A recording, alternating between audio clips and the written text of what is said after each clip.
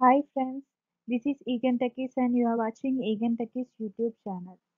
For getting new job updates, please subscribe my channel and click on the bell icon to get regular notifications. Are you searching for a job? Here is a wonderful opportunity for you.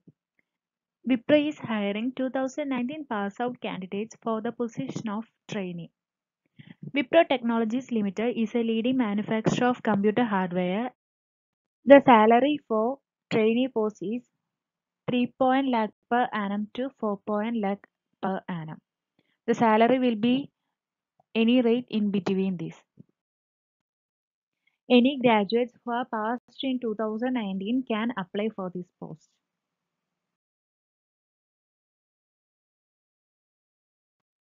The trainee post requires basic computer knowledge to troubleshoot desktop, laptop, and answering support queries via phone, email, chat, and web.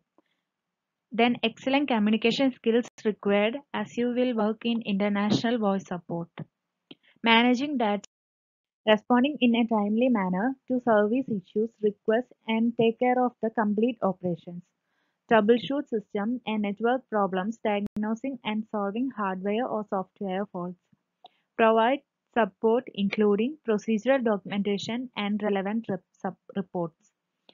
Support the rollout of new applications and manage the selection process will be based on group discussion, technical interview, and HR interview.